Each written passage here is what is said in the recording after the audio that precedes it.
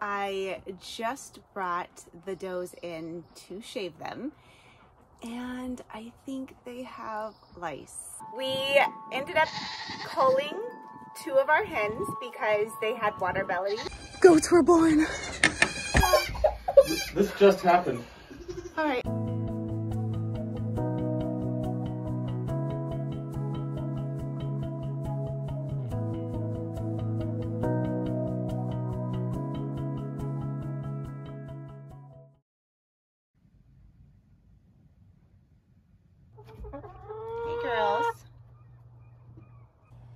Okay guys, so a few weeks ago we put a deposit down on a larger stock goat. We want one goat that will give us just a little bit more milk. We are getting a Nubian Alpine Cross. She's just a baby, but we get to pick her up. Can't wait to have one bigger girl in the mix to give us lots of milk. We have a couple people interested in goat milk, so we want to make sure we have plenty for us and potentially for a few people as well. Pepper, who's that? It's a friend. Pepper, who's that? It's a friend. Who's that, Leah? That's your new friend.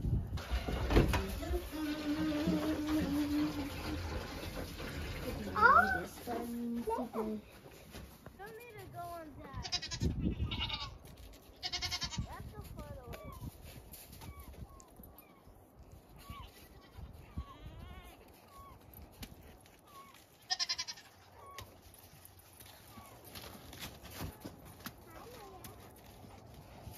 It's like an ice skating rink. It's pretty slippery. Yeah. I'm. Hi, Leah.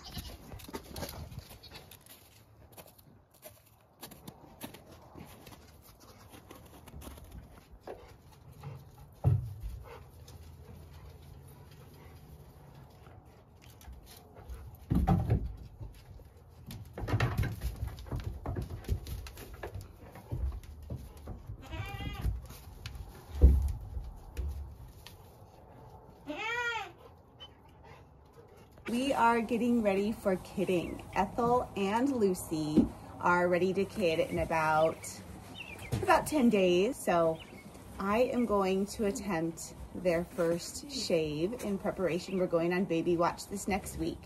So they ultimately can give birth anytime.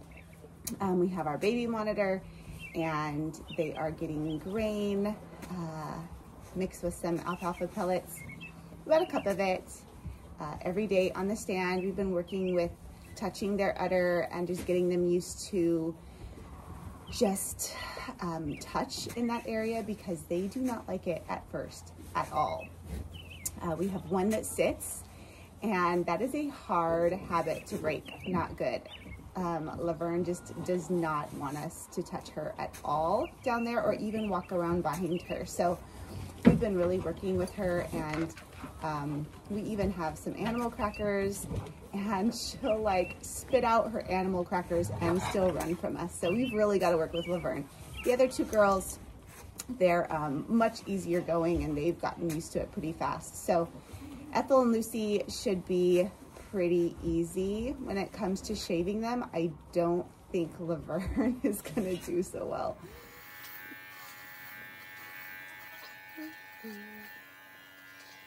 Good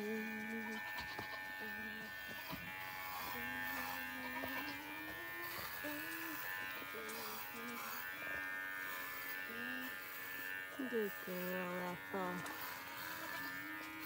She is the best one. Good girl, Ethel.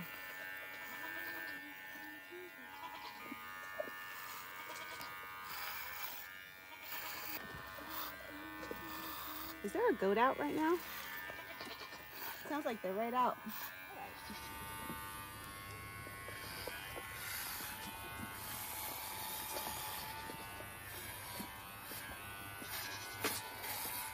Good girl.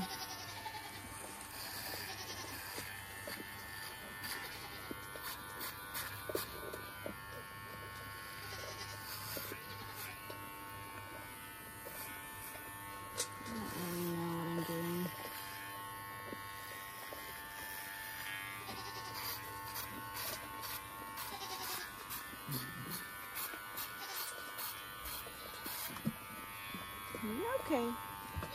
This is what Laverne does. She lays on the stand, but it's allowing me to do her shave. So I just brought the does in to shave them and I think they have lice. I think they have lice. It looks like dry skin. I need to research it more.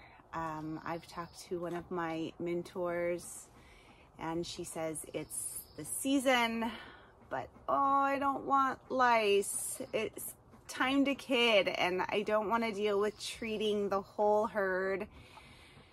And I definitely don't want to treat the does right when they're ready to kid. Unfortunately, our local feed store did not carry a product that was safe for soon to be lactating does.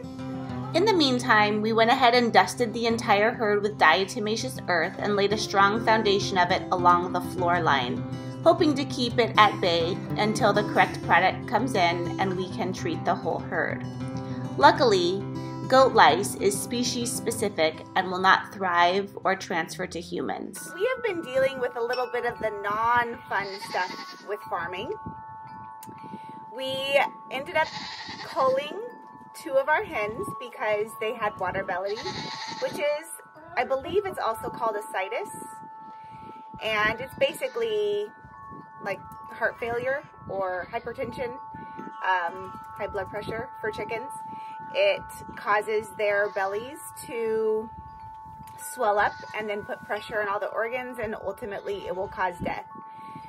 And it started moving pretty rapidly and they also had become egg eaters.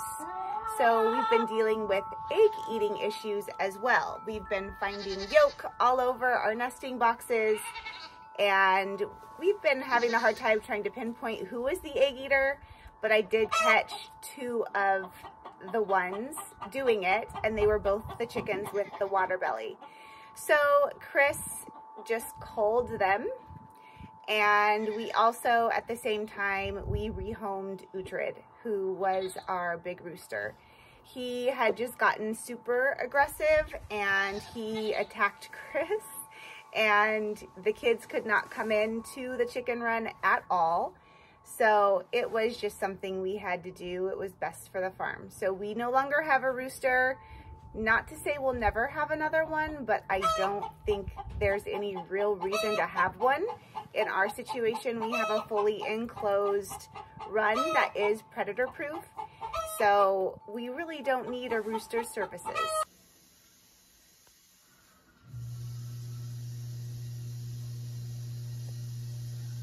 Goats were born.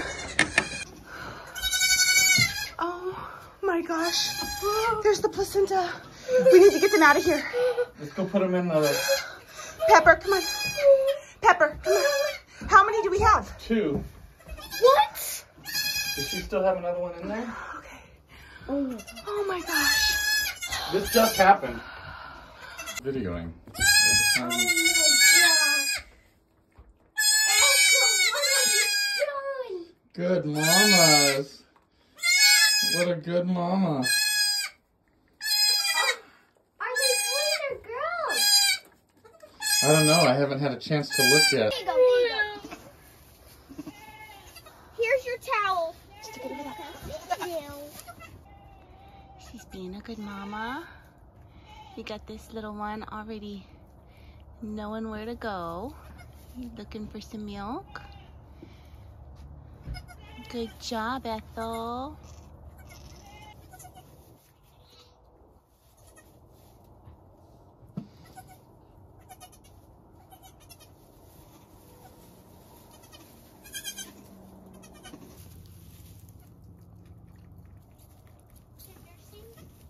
Not yet.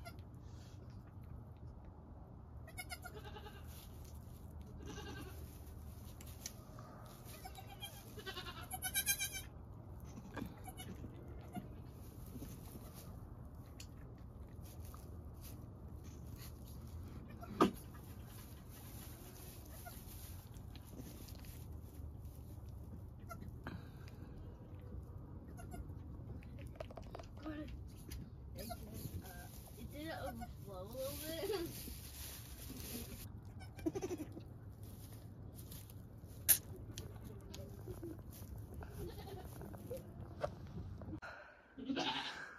I hear more babies. Oh my gosh. We missed it again.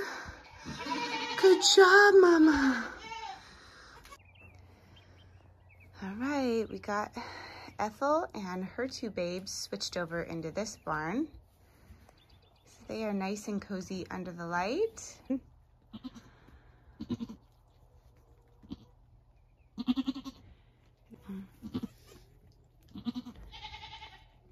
Good girl, Lucy. What a good mama.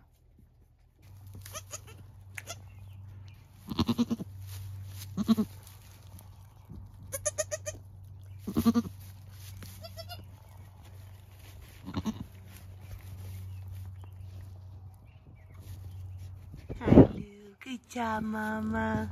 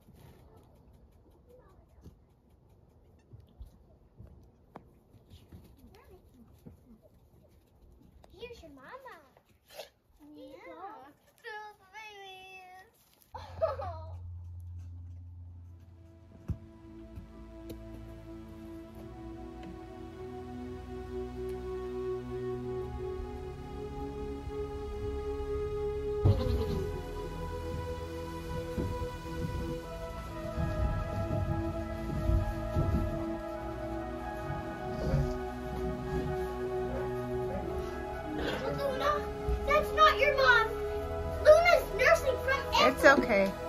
They'll figure it out. and Ethel is not okay. Uh, name? They'll figure it out.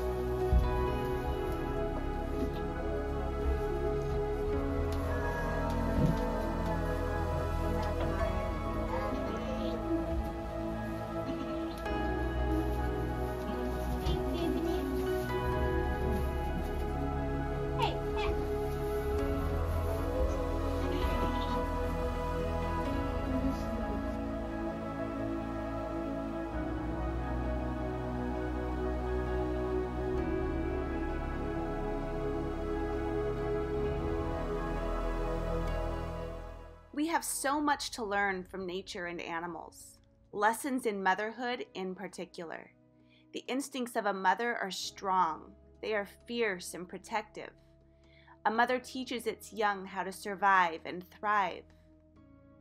If there's one thing I want my children to understand, it's that life is beautifully chaotic. It's full of trials and uncomfortable situations, but I will forever encourage them to live big, live bold, and life will teach them exactly what it's supposed to. Love is all that matters. Mm.